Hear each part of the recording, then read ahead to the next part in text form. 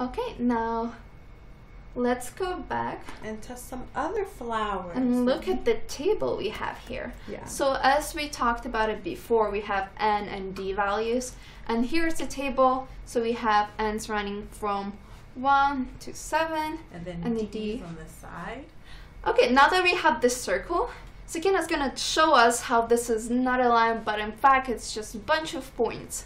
Yeah. Okay. So in order to do that, we're gonna have to increase theta until it shows dots. So, do you have a number in mind that you think would do it? Um, let's try 0.01.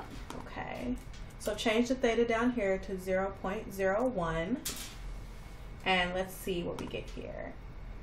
Hmm, may have to make it a little bit bigger. How about 0.05? Sounds good. Let's see.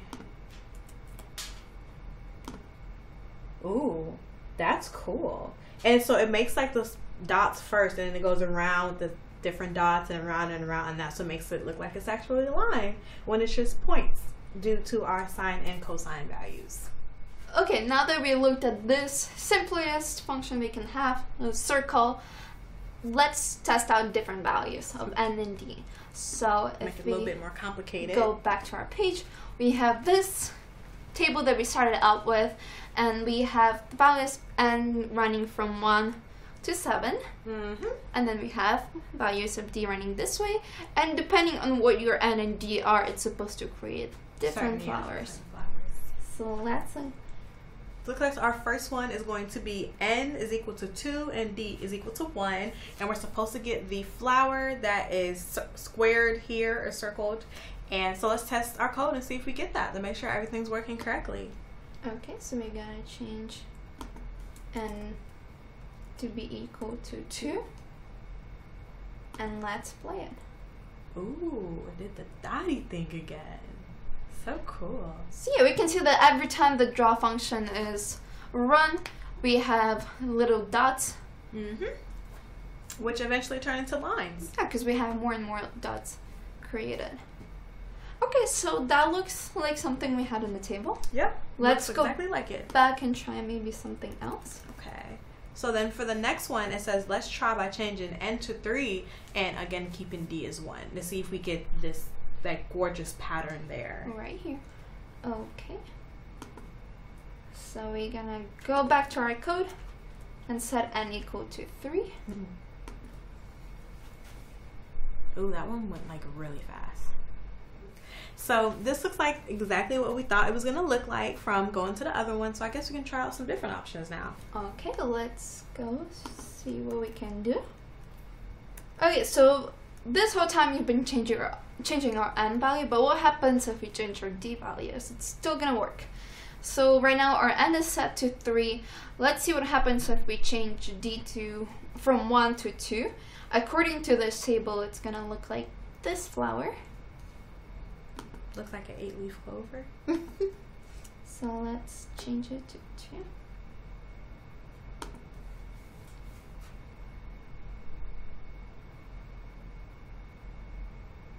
Ooh. Okay, that does look like a pattern we saw on the table. Mm-hmm.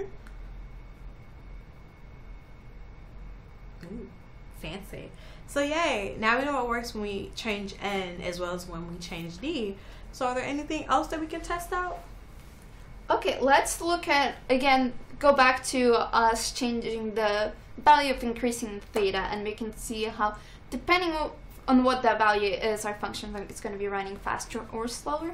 So let's go back and change it to zero point zero five. Okay.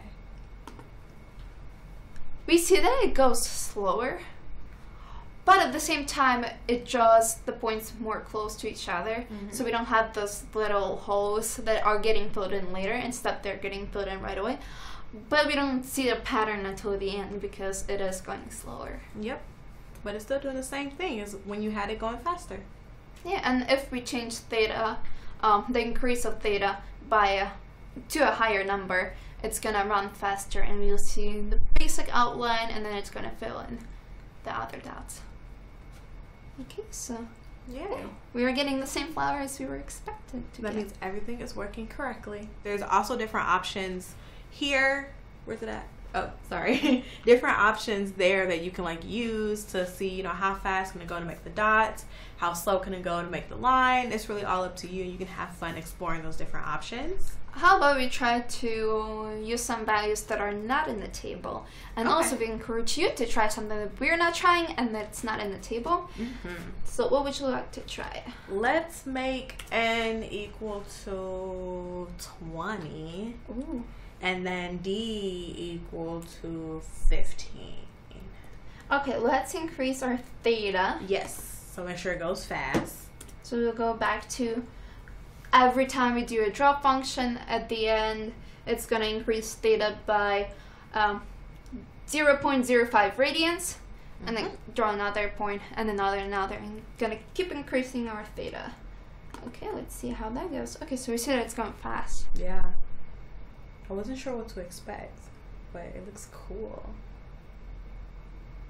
Okay, I think for this function we use a smaller theta, and Yeah. then as it goes, it actually completes the same dots instead of filling in Different the ones in between. So it Mhm. instead of overlining and filling in, it just goes over the same dots. Still cool. I like the design. Okay, so we got this kind of like rose fill. Yeah, it reminds me of like a Like- mandala flower. Yeah. Yeah, it's really pretty.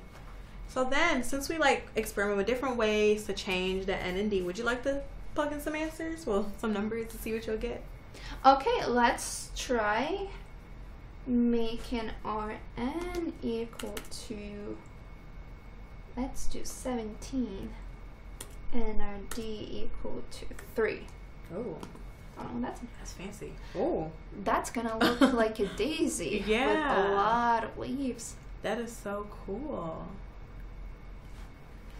Okay, now because we're talking about flowers, black and white are kind of boring. Yeah, and what, what I flowers are use black and white? I love colorful flowers. So Same. how about we try to change the color of those flowers? Oh yeah, that'll be cool. And I think from what I'm understanding, in order to do that, we have to go to our flower color and our Let me zoom in. yes, right here, the flower color that's right there. And as you see, it's all set to 170, which means that it's the color of gray, and the background is set all to zero, which means it's black. And in order to find out what colors you want to use, there's something called a color slider. Then you can just type in on Google, and it'll show you the numbers to give you, you know, whatever color that you want. So I'm gonna have Katie here Google that, and then we can. So if you use a color slider, you can go. Let's say we're trying to make your red flower, and then we'll scroll it over. Ooh, And if you look right here, it gives you three numbers. I'm Mhm. gonna zoom in on them. Those are your RGB values. R stands for red, green, uh, G stands for green, and B stands for blue. And it basically describes how many of each color is in that color. And it creates a color. So let's say we're trying to use this red color. We have 188, 13, and 27. Yep. So we will go back to our editor. and then we would just change those numbers Was it the number. 183? Yeah, I think it was 183 uh, Let's something and 27. 188, 13. Oh, and 27, okay. So 188, 13, and 27. And then once we punch that in and we run the code, it's going to show a flower with that color. And you can try to choose your colors Ooh, when you're working on okay. it at home. So just try different values, look over the slider. And choose whatever colors you want. You can even change the background color by doing the same concept. Of, you know, just go into the background code and change the numbers you want for whatever color. You so I'm gonna make the background be this teal greenish color, which is 13, 188, and 179. So we're gonna go back over here and do one three, oops, one three, 188, and 179 and 179. Okay. 179 and Let's try then to run the program. ooh So we see the background color changed. to the color that is over here. So all is well. I think it's pretty cool. So that's some cool things that you can do with this mathematical flower to customize it to your taste. Okay, so now we're done playing with colors. I'm sure you want to like keep all your creations so you can show people. And how you can do that is you can save it to a PNG once it gets to a certain value. And how we're going to do that is we're going to take this here and copy it and paste it in our draw function here. And as you see, the PNG will be created once theta becomes bigger than 2 times pi. So let's go and run this and see if we get a PNG that saves automatically to our desktop.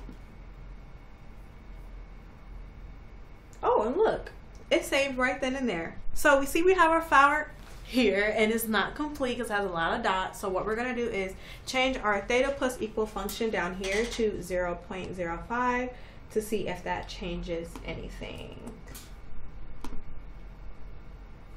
And as we see the dots are a little bit more closer together, which is a good sign that we're going in the right direction. And let's just give it a moment to finish to see if it'll complete it entirely.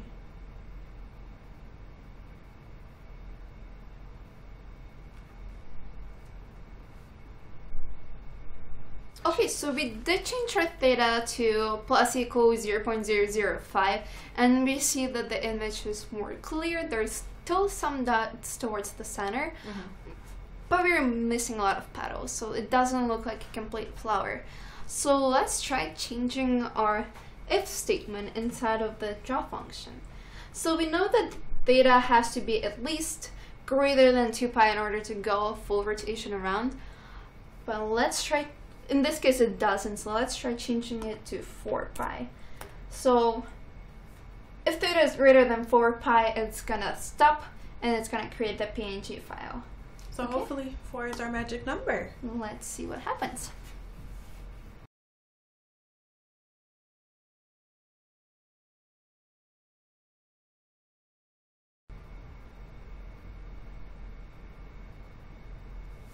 Okay guys, so it looks like the flower is complete and mm -hmm. the mm-hmm. mathematical way of looking if the flower is complete is if it ends at the same point as it starts, we said it, it's completed and it's it it started right here and it's it didn't end there. So yeah. after it got to that point, it kept going and going. So how do we make it stop exactly at the point it started at?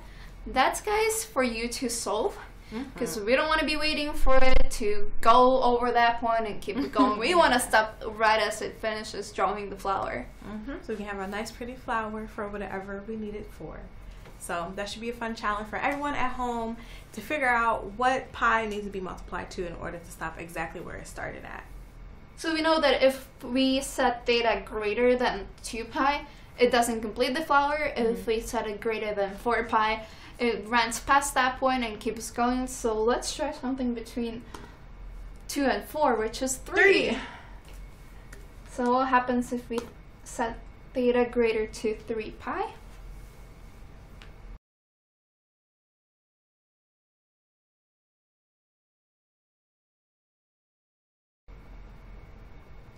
Okay, so close to...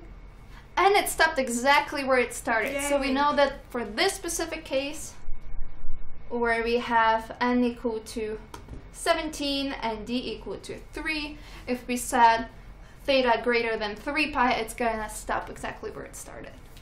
Yay! So now you guys know what it's supposed to look like and you can go home and try to figure out what it looks like for your particular um, situations of n and d. So as you guys see here, 3 is what solves this particular problem. But the challenge for you guys at home is to figure out what number times pi will work for all possible combinations that you can think of. And thanks for watching. Hey, bye. Bye.